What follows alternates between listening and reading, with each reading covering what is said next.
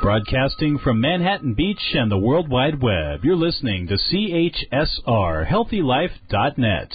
As a service to our listeners, this program is for general information and entertainment purposes only. CHSRHealthyLife.net does not recommend, endorse, or object to the views, products, or topics expressed or discussed by show hosts or their guests. We suggest you always consult with your own personal, medical, financial, or legal advisor.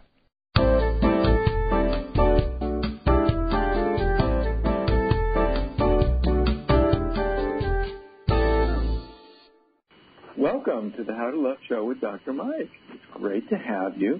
Hope you're having a good week so far. Um, we have with us today uh, a guest, uh, Stacey Chillemi, talking about personal challenges to spiritual awakening. And as you know, awakening is, is, is you may know that awakening is a really pr- profound uh, experience that can really uh, catapult our capacity to love. So, Stacey, welcome to the show.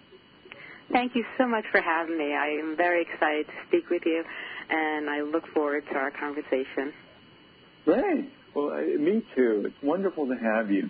Um, tell tell our audience a little bit about yourself. Well, I am. Um, I'm very. Uh, I have the website, The Complete Herbal Guide, and I do a lot of work with people on trying to uh, make um, changes in their lifestyle to improve their mental, physical, and spiritual um, uh, uh, well-being. And uh, I, you know, I work with people because um, what I believe is, that, you know, there always is a root cause to everything. And if we make uh, small adjustments and changes in our lives, we can do sometimes the littlest changes can actually have the biggest outcomes. That's a really wise. Yeah, little changes at a time add up over time, don't they? Oh, they do, very much so. Yeah, very much so. I take it you've had uh, some experiences with spiritual awakening. Is that true? Yes, you know, I, my life was a little bit of a roller coaster ride. You know, at the age of five, um, my parents had walked in my room one day and they saw me in my bed. I was turning blue and my eyes were rolled back and I was in a grand mal seizure. Um, I was rushed to the hospital, and while I was there, I was induced in a four-day coma. Uh, they didn't think um, that uh, I was going to have a, a very uh, good uh, outcome. They had uh, mentioned to my parents that if I do come out of this coma, I would probably be paraplegic or I would have severe b- brain damage and um, you know I was very lucky. Um, I when I came out of the coma, I didn't ha- I wasn't paraplegic and I didn't have brain damage, but I was left with epilepsy. I had a virus called encephalitis that had traveled throughout my brain, and to this day it left scar tissue damage in my brain, but they can't detect where. Um, you know, so throughout my entire life, I had seizures of all kinds, and um, I struggled to try to, you know, work through um, my epilepsy and to try to live a so-called normal life as best as I could. Um, you know, it was very difficult. Um, you know, my uh, seizures had um, were uh, controlled for a while through medication, and then when I had went through my menstrual cycles as a young lady, um, my seizures started back up again and um, going through life um, in school, especially college, was very difficult. I had uh, struggled trying to get through college, and the stresses of college, studying, uh, the late night, um, you know, gatherings with your friends, all these things, uh, you know, uh, helped, uh, you know, in- encourage more seizures to come about and um, I just, you know, I didn't know how I was going to get through it. I said, you know, what am I going to do if I'm going to have these seizures consistently throughout my life? How am I going to live a normal, healthy, and productive lifestyle, and and be able to accomplish all the goals I had set for myself? And um, I had written a article into the Epilepsy Foundation. They have a magazine that they publish on a monthly basis and I asked them to please publish the article, and I asked people how do they cope with epilepsy? How do they, you know, actually, um, you know, live life, and how are they able to get through each day? Uh, and uh, I was very surprised that I got over three to four hundred letters throughout the United States and Canada. People were sharing their stories and sharing advice and, and teaching me different tools and techniques that I could actually use to myself. And you know, um, at that moment, um, I was just stunned You know, it was very supportive, very motivational, and I realized that you know I wasn't the only one. Um, you know, I wasn't alone, and there were many other people with this disorder, and um, you know so i i continued to go through life. I graduated um college and then i actually started and i worked for a very big corporation in new york and um I actually uh, one day I had fell to the floor. I had a grand mal seizure, and a uh, producer had walked over me, and he saw me having the seizure, and he just kept walking.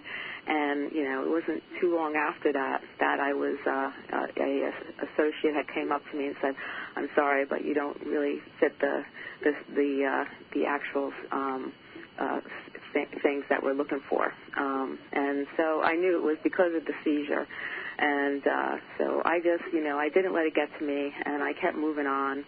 And uh, I wasn't going to let it. Uh, that was discrimination, what they did, no? Yeah, you know, it was. And, and I spoke to the Epilepsy Foundation, and they actually had me go to Congress, and I spoke on, I spoke on job discrimination. But back then, you know, things were a lot different than they were today. And, uh, you know, it wasn't until, you know, um, the, the last uh, decade or two, they really started putting a stand on on job discrimination. But a little before that, you know, um, you could actually, you know, people could get away with things that they can't get away with today. And to be honest with you, I just, you know, I. I was very disappointed. I was upset, but I, you know, I also realized that, you know, the world isn't such a nice place, and maybe this isn't for me. So I kept moving, and I didn't, I didn't um, make a big deal out of it. I probably could have, but I didn't. And um, I just, uh, I decided, I, I, I thought to myself, this is not what I was meant to be. This is not what I was meant to do. There's something out there, you know, because. Uh, you know, I just felt there there was something there in life, um, a passion that you know, and a, a destination that was waiting for me, and I didn't feel it in, in what I was doing at that time. So I kept moving on, and I started working and doing and writing and working for an herbalist, and uh, I actually found um, I actually started writing. Um, and doing a lot of research in natural healing and uh, I was uh, doing a lot of research in different um, uh, herbs and different uh, natural natural uh, alternatives on how to heal the body. And I actually was really stunned of all the different things uh, that you could do yourself um, to heal yourself. And I started applying a lot of those tools and techniques to my own life. And, you know, stunningly, my seizures got better. My seizures went from nine seizures a month to, to six to five to four to three to two. And, and I started feeling terrific. And my energy level started getting better. My focus started getting better. Um, you know, and I actually, you know, uh, started, you know, really understanding that you know life uh you know if we change our our lifestyle and our our you know we could actually change you know um a lot and fix a lot of the problems in our lives. And people sometimes don't realize that there's a root cause to everything. And you know when we have problems or we have an illness or a condition um, there is a root cause. And if we dig deep into ourselves to find out what's actually going on, what's causing these problems, we could actually make small adjustments uh, to our lives and make changes. And not, you know, and some, it doesn't happen overnight, but you could actually help yourself. And there's ways to improve your life and improve your your your your goals and your futures. You know, because the past is the past. We can't change the past but yeah. we can focus on the present. And if we focus on Absolutely. the present and we, you know, we create um, goals, short-term and long-term goals, and we figure out ways on how to move forward in life, we could actually create a very productive future for ourselves. So good. So yeah, I, you know, I that's wonderful. I'm so happy for you, Stacey, that you've been able to sort of come out of this. It's really, really wonderful. I know that we we had um, that when Dana set up our call, it was going to be to talk about sort of spiritual awakening. Is that something that you you in the time that we have left that you want to mention or talk about? What role that played in? I I did have a spiritual awakening. You know, I realized that you know, um, in order to move forward in life, you you really, you know, sometimes you have to hit rock bottom. Um, and and when I was going through this little roller coaster ride, um, there was a point where I was in denial. I didn't want to, you know, face who I was. I didn't like who I was.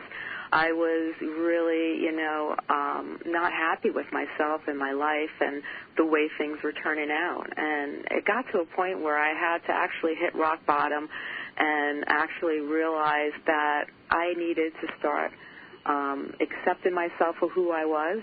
And I was a person with epilepsy and there are many people that you know that have illnesses and conditions and problems and they resort to alcohol or drugs or dep- they fall into depression or they commit suicide. And I wasn't going to be one of those people and I refused to to you know to to to fall down you know completely. I was going to get back up. And um you know I learned that you have to really learn to to love who you are and like I said, first you have to really accept who you are, and then you have to love yourself. How did you get to the point of accepting yourself? You know, I, I started writing journals. I started letting out my emotions. I actually got together in groups of people and we spoke, you know, about our own instances in life and we actually, you know, shared a lot of emotion and, and a lot of um a lot of stories and you realize that you're not the only one in life that, you know, we all, sometimes we we fall into into into, you know, holes and you know, we don't realize that there are so many people out there just like us and you so know, when you realized that you weren't alone and that there were people just like you, and you shared your the truth of your story with them, and they shared their stories with you, you you felt a sense of their connect, acceptance of you, and a sense of through that your own acceptance of yourself. Is that is that right? Yes, exactly. You know, and you know, and it also, you know, by listening to each other and by having people there, you know, having we had like a, a group counselors, you know, speaking with us and you know, showing us, you know, tools and different techniques. On when you get to a point where, you know, you you share these stories and and you um you you start to realize that you're not alone and people you start to learn how well how did you get you know how did you get to this point and how did you get to that point? And then learning different tools and techniques um you know uh to help you in the future you know when you um to you know cuz emotions can you know your emotions can really destroy you if you don't know how to deal with your emotions. A lot of times people don't know how to deal with their emotions so they push it down and they push it down and then you know they they don't want to feel these emotions. So then they resort to other things to hide the emotions so they don't have to feel it. Some people become like a a, a, a, a numb uh you know they're just they just walk around and they they just don't really refuse to to feel anything. And they live life um some live life in denial some live life in anger you know. And once you start expressing your emotion and you have other people expressing their emotion and you start sharing and it's like a waterfall. And then those emotions come out it's like a release uh you know and and you you actually were able to share with other people who understood you and then you learn you learn techniques on how when you get to points in your life where you just feel overwhelmed with emotions and things that's happened in your life how to cope with them strategies to move on in life because in life there's always going to be a problem. Life is full of problems. We wake up every day and life is full of surprises you know and uh you you never know what the next day is going to bring so you have to really learn how to deal with life, how to deal, cope with stress, and even stress itself. 90% of illnesses are stress related. So stress can destroy you. But if you learn how to cope with stress and you learn how to deal with your emotions and you learn how to how to deal with things and then move on, you could do you could do so much with yourself. So I. Yeah, I think I think the problem is, is that for for so many people who are listening, um, you know, people say, well, co- you know, deal with your emotions or cope with stress, but a lot of people don't really know. Well, what do I actually do? And one thing that you've expressed, I think, that I would just want to reflect for our audience, uh, Stacey, is that you were able to cope with your emotions and, and deal with your pain uh, by connecting with other supportive people yeah. and then saying the truth to yourself and to others of what was really going on for you uh, with acceptant, loving, supportive people there to hear it and mirror it back to you. Oh yes, you know when you have people that um, can be supportive and can be there for you and understand you, and you know, um, you know, because a lot of times things even resort to our childhood. People don't realize it, but from the moment we're born and, and our childhood years, things that happen, you know, affect us throughout the years, and it, it builds us into the people that we are now. And a lot of times when you look back, you have a lot of the same qualities you have have as a child. And sometimes things happen in people's lives you know, that might not be so good, and they don't know how to deal with it. And they just, you know, as a child, they might they might push it down, and then it keeps building as they grow up and as they become young adults. And then they're not able to, they weren't able to cope as a child. They're not able to cope as an adult.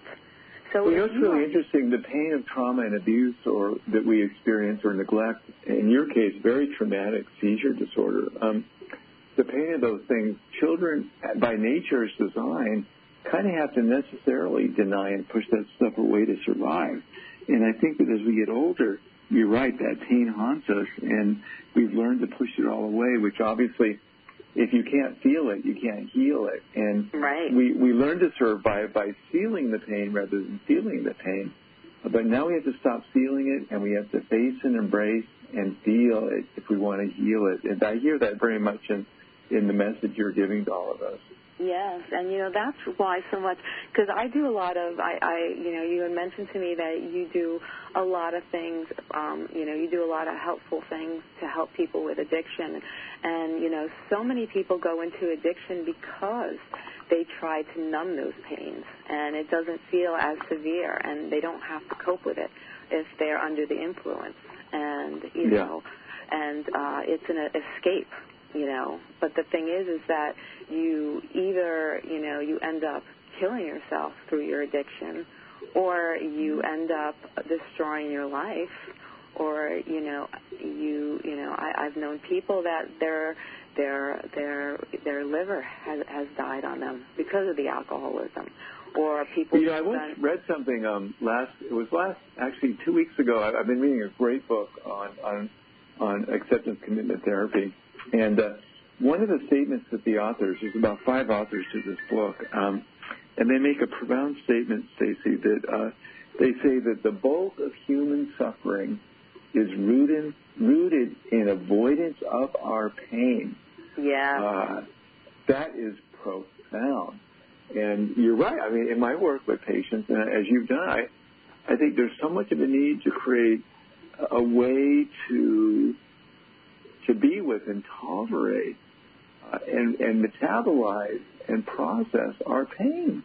Yeah. Uh, it's so important.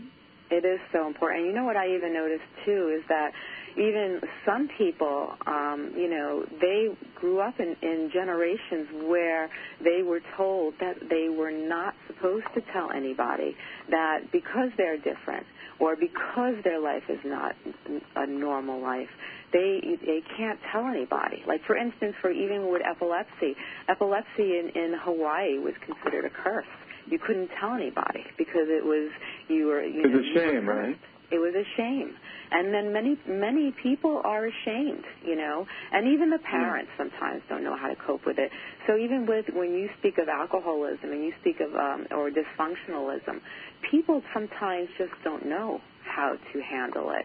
And some people, even the parents or the grandparents or the family members, everyone's in denial because everyone just doesn't know how to deal with it or doesn't want to deal with it or is overwhelmed themselves with the stressful situation. And you know, yeah. and and if people don't get help, then the the behaviors, you know, they travel from generation to generation because then they have children, you know, if they get married, and then their behavior, their negative behavior falls off on the child and the child sees this behavior and they think it's normal and they pick up patterns of this behavior. And it just follows from generation to generation. And it just you know it, it's something when when people have problems and they feel and they know that their life um isn't isn't the way it should be they should reach out to other people. And they you know and if they're embarrassed to speak in groups i you know one on one therapy is excellent itself. That's a great way to to um, to to work through problems. As, you know, if if you know, because some people are very embarrassed to to to admit to their problems or to admit to their emotions. You know, but when you do, when you finally do realize that there are other people just like you, you feel a little bit more comfortable to open up. But sometimes people have to really, you know, they have to get to that point, you know, and just talking to somebody one on one might be the step one. Yeah, yeah, absolutely. Yeah, so naming the truth, talking the truth, getting the support of others, and and then learning how to manage our pain. Another thing I want to just point out, Stacey, that you mentioned is how toxic uh, sort of it's crazy that, that we feel ashamed of the things that cause us pain. And we even learn to have shame for our pain, which is just ridiculous. Uh, that we are bad because we feel bad. I know it's it's so irrational, but so many people feel bad about themselves because they feel bad.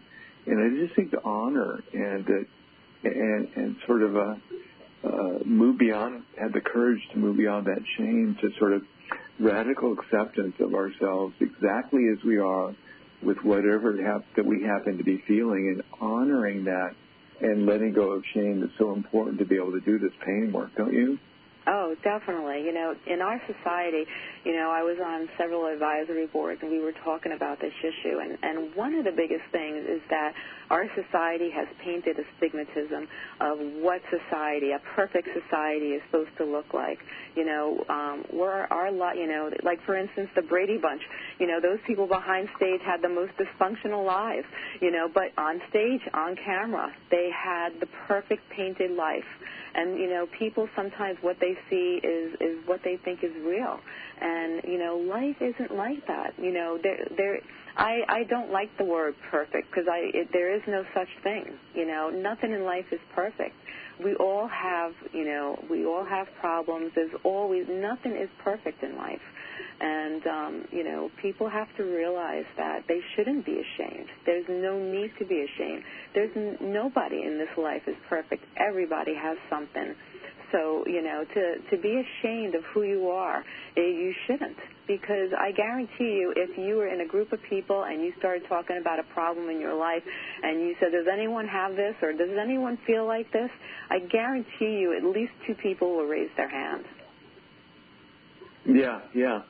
No, so true. I was talking this morning with with my mentor, um, uh, just a wonderful, wonderful woman, um, and um, we were talking about my own sort of feeling of just pain and regret over mistakes I've made and and and people that I've hurt, you know, particularly my ex-wife and my and my two sons, um, just inadvertently to some degree, usually, and uh, and just how how when we make mistakes, um, there, you know, to add on to what you're saying, there, there's such a need to understand that we all make mistakes, and oh, yes. we all are imperfect.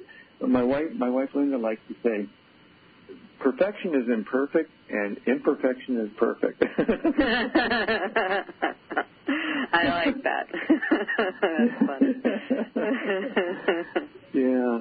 Yeah, so uh, no, we should no blame, no shame. No blame, no shame. Yes, yeah. you know, it's you know we have to all realize that you know everybody makes mistakes in life, but the the the goal is when we make mistakes to learn from them and then to make changes and then to move on.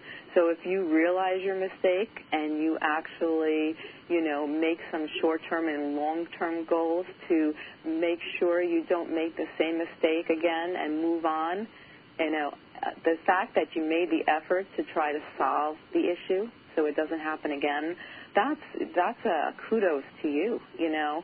And and even even if you try to solve the mistake and you may not get to the point in life where you want to be, you still made the effort, and that's all that matters. Is that you tried to better yourself, and that's all you need to do. As long as you take a moment in your life to try to make something better in your life, the effort is, is, is, you know you cannot fail when you try. I don't believe you can fail. You know you may not. Yeah, there's something very redemptive about there, isn't it? Isn't yeah. It? Uh, it's very redemptive. I say to my patients and to myself, we got to name it, we got to claim it, and then we, in order to tame it, and if we want to tame it, we can't shame it. So name it, claim it, tame it, don't shame it. right. I like that. So, yeah, but you're right. If you if you do that and you own it, you name it, claim it, and you you really work to sort of learn and and and, and change your behavior now because of hurtful or, or or unskillful behavior in the past. That's highly highly redemptive, um, and uh, can allow you. You know what I say. I, I work a lot with people who um, in a prison hospital who who have murdered and who have uh, raped and and, mm-hmm. and, and molested children and, and and done all sorts of really unskillful, really destructive things, and who now really live with terrible, terrible. Sh- many of not all of them, but many of them with just life crippling shame and guilt, and they can't go back and change uh, what they did. Uh, but it really is what you said, uh, Stacey, is so helpful to to you know that we we can learn from that and we can try and, and make living amends and, and live this day with love and integrity as best we can. Yes, you know, as long as you you make the effort to better yourself, that that's all that matters, you know, and and you know, you know, and for people who are religious, you know, when when it comes to you know the redemption of sins or it comes to forgiving ourselves i think the biggest thing is is forgiving ourselves. That's the that's the thing. You know um you know i believe if we try to if we forgive ourselves then we will be able to move on and better ourselves. It's the guilt that you hold inside for the mistakes we make in life is mm-hmm. that what holds you down in that hole and but you need to forgive yourself because we are human and we do make mistakes. And sometimes we may not always make the right choices but if we forgive ourselves and then we make the effort to change and then we move forward after that then life you know then then you're on the right track and then you you you are a good person. You know a, a person who who does those things if they forgive themselves and then they make changes to better themselves and they move on and they try to make changes for the future and maybe to help others, you know, because they made mistakes, they hurt others in the past, but now they're helping others.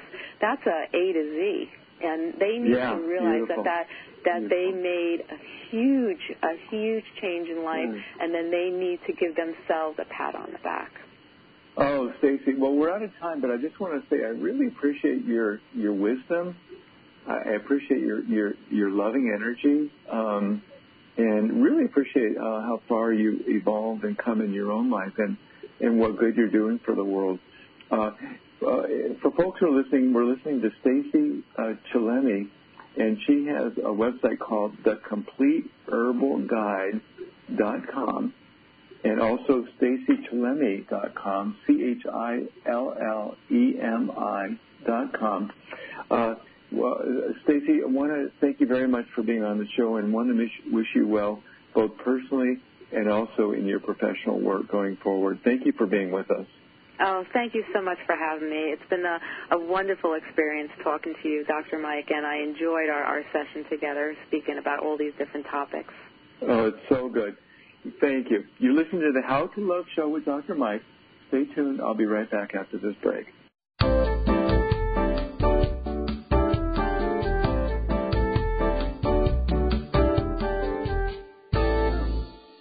Go to howtolove.com to access wisdom on how to lead a life of love. You'll find articles, blogs, media, and lots more, all to help you learn how to love and let love into your life. If loving and being loved is challenging for you, Know that you can learn to love and be loved. Learn more at howtolove.com. You'll even discover information about Dr. Mike McGee and how he can personally guide you to a life of love and even how to get him to speak at your function or group. Visit howtolove.com. Go there now, howtolove.com.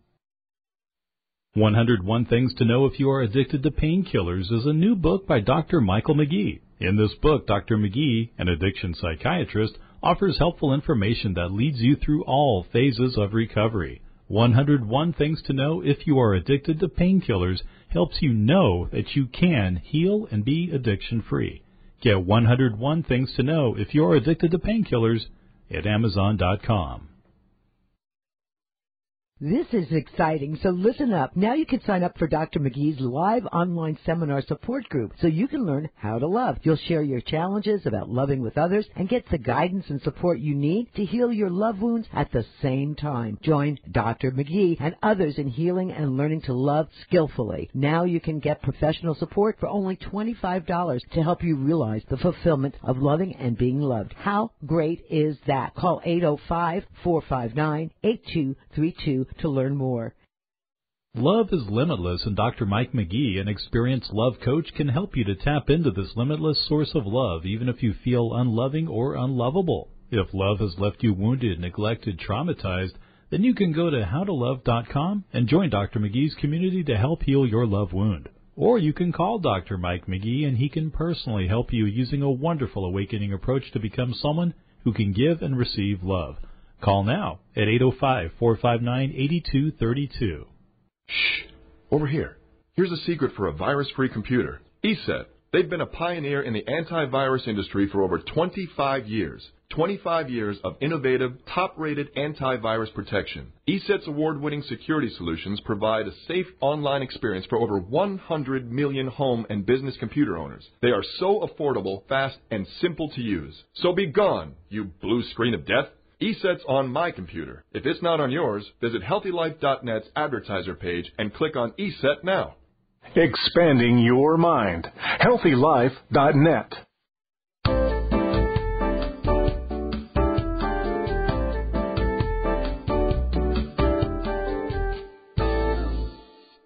Welcome back to the How to Love Show, Dr. Mike. Um, I'd like to talk a little bit about um, spiritual awakening and uh, what that is in terms of its relationship uh, to to love. Um, there are there are different uh, qualities of the spiritual awakening. People talk about spiritual awakenings all the time, uh, and from all sorts of different religions and faiths. And what's really extraordinary about people who've studied and researched these is that they um, they they have um, a lot of the um, the uh, the same qualities that are kind of um, uh, universal. Um, no matter you know where in the world you are, um, you know where where um, where you've um, where where you've you've grown up, what what what kind of what kind of uh, childhood you've had, what kind of beliefs you've been given. There, there's uh, some universality and there's several different characteristics. Probably the most common characteristic is a feeling of oneness and stillness. Um, this is kind of a uh, a perceptual experience. Uh, there's an intensification of perception where there's a sort of a sense of openness and freshness and clarity. What some people call presentness, presentness or timelessness. There's a pervasive spiritual energy that is experienced and aliveness sometimes a, a, perceptual experience of harmony or oneness, or what some people call non-duality. Uh, there can be a perception of a sacred life force that or flows through everything. Some people, not everybody, but will have an experience of sort of a sense of a loving other or a, a loving energy. But again, this sort of unique thing of oneness, a perception of oneness, that uh, a, a sort of a a breakdown of what all spiritual traditions sort of talk about of this dualism or this separation of a sense of self and other that tends to, to go away. Um, and it sort of counters what the ego does. I mean, the ego has been very skill, successful at, at helping us to survive and create a civilization, but it's come at a price. Uh, and with the ego, there's sort of a de-intensification of perception because the ego serves as a filter so that we can just focus on what, what the ego, what the brain determines to be most important for our survival. And there's sort of an automi- uh, what's called automation or sort of an autom- automaticness to what we perceive. Uh, and we tend to sort of uh, uh, perceive things in abstract ways in terms of con- concepts and to experience ourselves as separate. And this perceptual awakening or uh, to oneness is sort of counters those ego functions. It's sort of a transcendence of those ego functions. So that's the first universal quality of awakening. It's a sort of experience of oneness. Uh, the second is an emotional experience, and that emotional experience is one of peace. It's an experience of an inner quietness and stillness. Uh, it's it's sort of a retrieval uh, because of the retrieval of awareness from immersion in thought and this experience of oneness. What what comes with that is a feeling of peace and well-being. Oftentimes, it's not always, but a feeling generally that all is well and all will all will be well. There's a, a degree a decreased sense of fear of death. Uh, there's an increased sense of energy and equanimity. Uh, oftentimes, people will describe experiences of bliss and joy, uh, and this really uh, it comes from this countering of the egoic experience of separation disconnection. Um, so this this feeling of peace and well-being counters the ego's experience of insecurity and turmoil and loneliness. Um, so that's the emotional piece uh, uh, of peace and stillness. The third is the, is the conceptual. So there's the perceptual of oneness, the emotional of peace, and then the conceptual, which is sort of a feeling of a lack of group identity or, or a conceptual outlook that we are all part of one internet, interconnected web of life. There's one human family. Uh, it, it's not us versus them. That kind of goes away. You know, those those um, those terrible Russians or those terrible Chinese or those terrible people over there, uh, those whatever. Uh, you know, the kind of feelings that you get with nationalism and racism, that kind of sense of the the bad other uh, versus the good us. When you have a spiritual awakening experience, that kind of sense of us versus them, I'm good, you're bad, that kind of goes away. Um, there's just less egocentricity um, uh, and, and less of a sense of self-concern and self-seeking. Uh, there's just more of this conceptual understanding that we are all one. It comes from the experience that we are all one. So that's conceptual. the fourth quality of, of, of, a spiritual awakening is one of altruism, which again I think springs from that that experience of, of, of, of oneness and a sort of a sense of reverence for uh, the one life of which we are all a part, a tiny part of. The, out, out, of that comes a wish to do good, a wish to help, a wish to love, a wish to serve. Um, there's the people who have, are, have had significant spiritual awakening experiences, according to the research that's been done on this, uh, tend to be more engaged. Um, they tend to be less materialistic, uh, not so much attached to things like status or power or prestige. There's a shift from a focus on self-centeredness to uh, sort of what I call um, uh, sort of a uh, from from me go to we go. There's a sense of moving from a, a, a self-centered point of view to more of a you might want to call it a unicentric or omnicentric point of view, where there's uh, basically a concern for the one, for all of us. Um, uh, and and I think people, because of their awakening experiences, then tend to be more loving. They tend to be more authentic, more compassionate, uh, there's also a sense of a relinquishment of personal agency. There's not so much of a sense that I'm doing this. It's more of a sense of uh, this is happening through me. So this, this sense of altruism love that, that, arises from the experience of oneness and, and, and goodness, um, uh, of an awakening experience, oneness and goodness, uh, really counters sort of the ego strives to accumulate. You know, he who dies with the most toys wins. Uh, more of a, uh, less of that sense of attachment that things need to be just the way I want them to be, or I will be unhappy. That kind of goes away, and there's less of a focus on sort of uh, excessive consumption uh, because there's not a need for that. Um, there's less inauthenticity, less of a need to sort of fit in. Um, to meet to sort of garner other people's conditional approval. Uh, there's more of a sense of belonging. that's more unconditional. Also, judgment tends to go away, you know, uh, which is kind of a, a psychologically violent act to sort of say you're bad because you do this, this, and this, or you believe that, that, and that. So judgment and, and negativity and aversion, uh, hatred, those kinds of feelings kind of reside when we've had these awakening experiences. And then there's less conflict, more harmony in relationships out of this sense of altruism. Um, and there's less manipulation.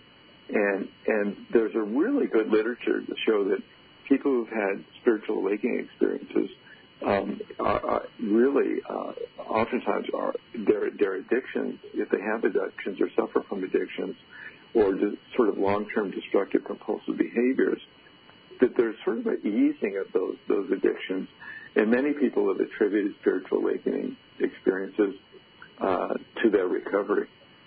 So, um, really, uh, it, you know, these kinds of awakening experiences are, are, not something that you can decide to do. You can't ego an awakening, uh, but uh, you can do things to nurture an awakening experience. And um, uh, those are uh, really the, the three A's of awakening that, that I uh, will talk about in the next segment really have to do do with that. And um, uh, those are to, um, really um, focus on uh, uh, really living a, a, life that involves some stillness, some acting uh, in spiritual contemplation of some sort, prayer and meditation, and then living a life of integrity, uh, a life of no harm, um, and then um, purifying, purifying our motivations, really transforming from uh, a life that's driven by wanting uh, and desire, a life that is is really uh, uh a desire to, to love and to, to benefit not only ourselves but, but everyone, and ourselves as part of everyone. And then there's sort of a renunciation or, or really letting go of psychological attachments to social status, material goods, wealth, power, the affection of others, uh, really a renunciation of, self, of compulsive self-seeking, and then engaging in a life of service, altruism, giving, putting others first. And then, as I mentioned, sort of stillness and contemplative practices. That can include reading and journaling, spending time in nature. Um, these practices, if they're engaged in over time, steadily and consistently, lead for most people to a very gradual awakening. And as we awaken, as, as we now understand spiritual awakening, we see that we uh, experience more joy, more peace, and more of a loving and fulfilling life.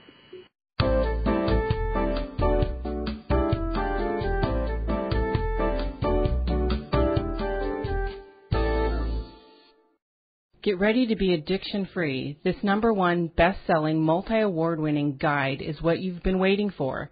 With his book, The Joy of Recovery, the Harvard trained Dr. Michael McGee has helped hundreds of patients to full recovery. Imagine transforming your life with The Joy of Recovery's unique 12 step program. Take the first steps to overcome your obstacles now by getting The Joy of Recovery available at Amazon or Barnes & Noble. Learn more at thejoyofrecovery.com. Authentic love is universal and unconditional. It is love for both the lovable and unlovable, liberated from toxic ego judgments that reduce and dehumanize. When you deeply understand the forces that drove others to hurt you and you to hurt others, compassion and forgiveness will allow love and bring you joy. Now on howtolove.com, you can learn more about the liberation of loving with Dr. Mike McGee's ebooks on joy, love, and recovery. And there's more ebooks on the way, so visit howtolove.com and put a little joy in your life. No matter your faults, flaws, and failures, know that you are of immeasurable worth. You deserve to exist and to be happy just like everyone else. No matter what you have done, no matter how others might judge you, you are still sacred and lovable. Learn more at howtolove.com. When you get there, you'll find a wonderful healing blog that discusses all aspects of love, like awakening, recovery, transformation, spirituality, and more. Open up to endless love. Visit howtolove.com right now. Go to howtolove.com to access wisdom on how to lead a life of love. You'll find articles, blogs, media, and lots more, all to help you learn how to love and let love into your life. If loving and being loved is challenging for you, know that you can learn to love and be loved. Learn more at howtolove.com. You'll even discover information about Dr. Mike McGee and how he can personally guide you to a life of love and even how to get him to speak at your function or group. Visit howtolove.com. Go there now, howtolove.com. Reach your health and fitness goals. Whether you want to lose weight, learn to dance, build muscle, or just live healthy, Beachbody gives you unlimited access to the nation's most popular fitness and weight loss solutions. Visit our advertiser page and click on Beachbody now. The bright side of talk. HealthyLife.net.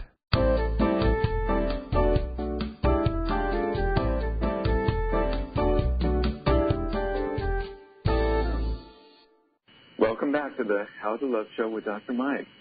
Um, I, I, you know, there is so much pain and suffering in the world, uh, and so many people have uh, not learned how to uh, safely and effectively love and be loved because of trauma and neglect. Um, if that's the case for you, know that you're not alone. Uh, many people struggle with a love deficit, and actually, I think it's getting worse. There's been an increase in suicide rate by a whopping 35% over the past 20 years. Uh, somebody in despair takes their life roughly every 10 minutes. Um, and many who suffer suicide are, it's driven in part underlying by loneliness, uh, which almost half of all Americans experience. As a society, we are becoming more and more alienated. People's social networks have diminished by more than a third from 1985 to 2009. Uh, the percentage of people living alone has increased 40% in recent years. And even for those who are married, the joy of, of love is sometimes elusive. Various studies have found that about three out of four people, married people, are unhappy with their marriages, with roughly 50% of all marriages ending in divorce. So why are so many people impaired in their capacity to love? There's three main reasons, trauma, neglect, and a lack of belonging to a loving community. Research suggests that fully 40% of people experience abuse or neglect in their childhood.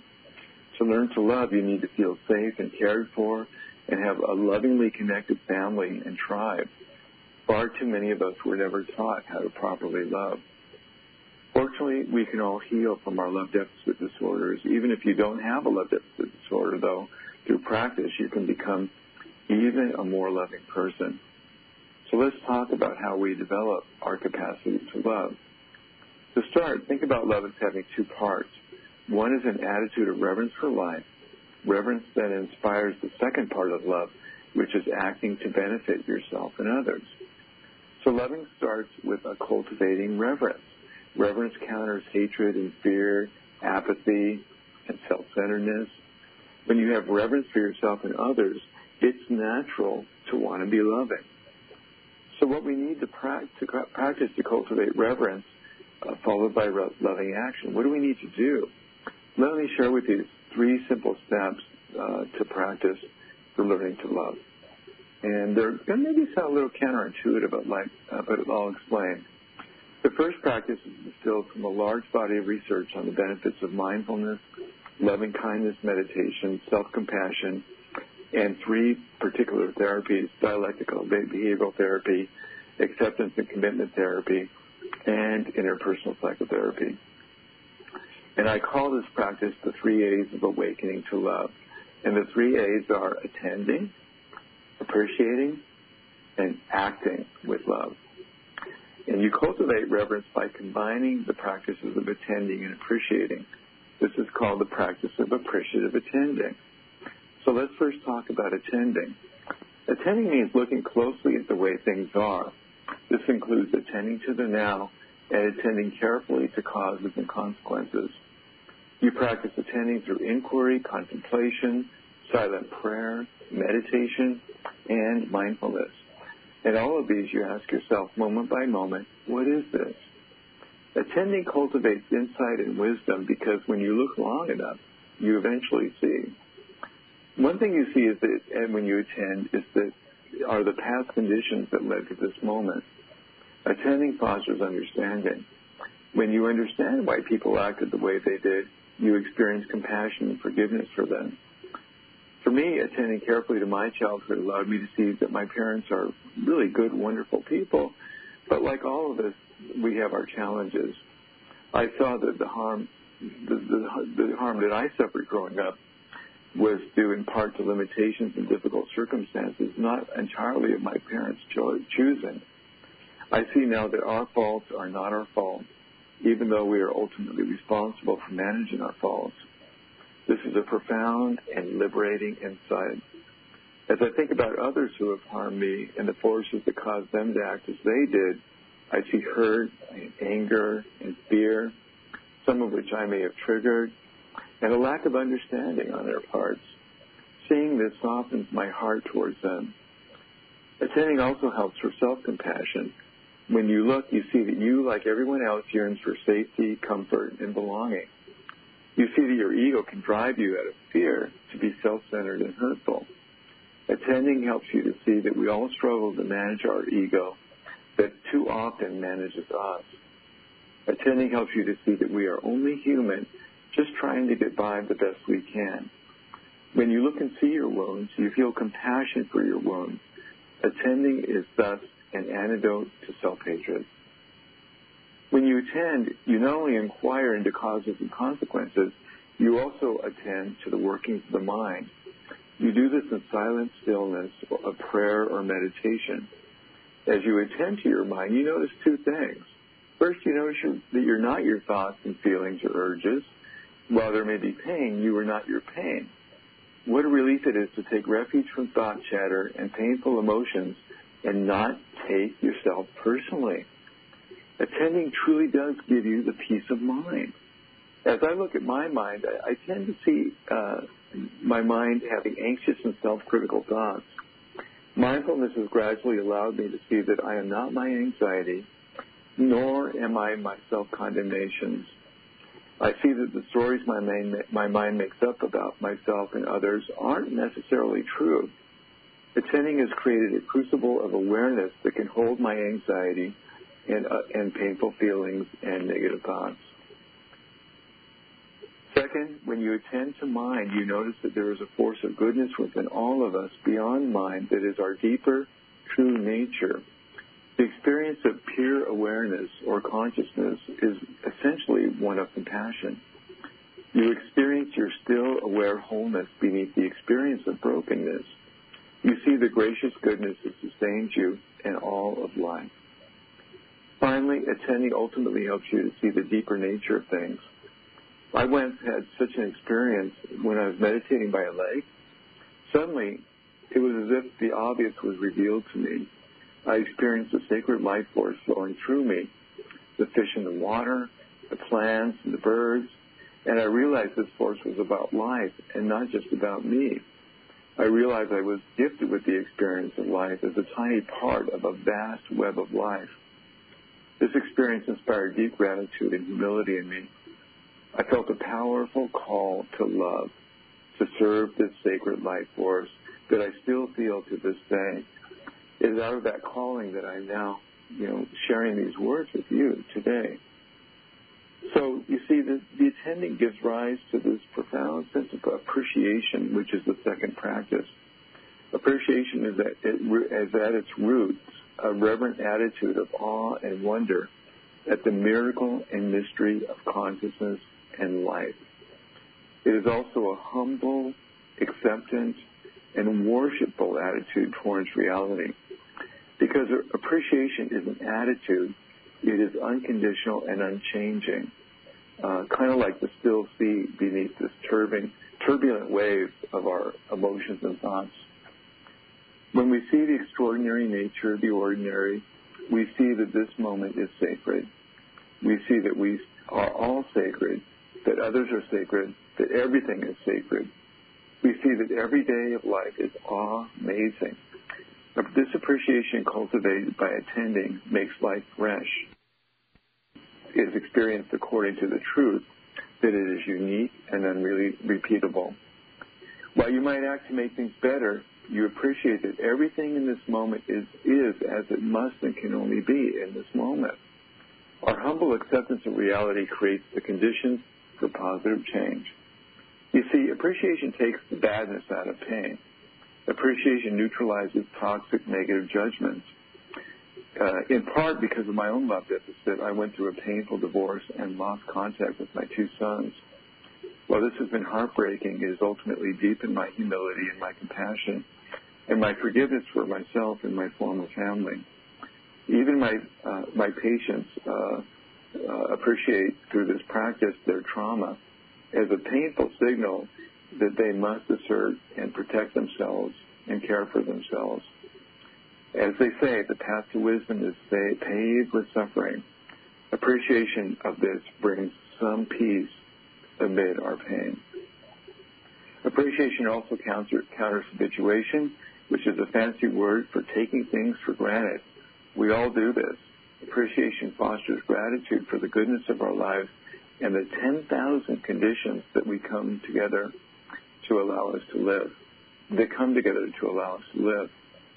With practice, appreciative attending cultivates loving awareness, or what I call radical reverence. There is loving awareness of goodness as well as evil, of pain, judgment, and even hatred. Appreciative attending allows us to see that all these are part of the sacred whole of things. The third practice, acting with love, naturally arises from appreciative attending. Out of reverence, there is a calling, even a mandate to love. Living to nurture the well-being of everyone becomes our life purpose, along with savoring this precious gift of existence. Love becomes the intention behind all action. The question, what would love do, becomes your life mantra. mantra. So there are many love practices which we'll talk about uh, over the weeks. Um, but think about these three practices. What is this? This is sacred. And what would love do? Appreciating, I mean, I'm sorry, attending, appreciating, and acting with love. These are the practices and the way to heal a love deficit disorder and enhance our capacity to love. May you be well this week. May you have a week of love and hope to have you back on our show uh, next week.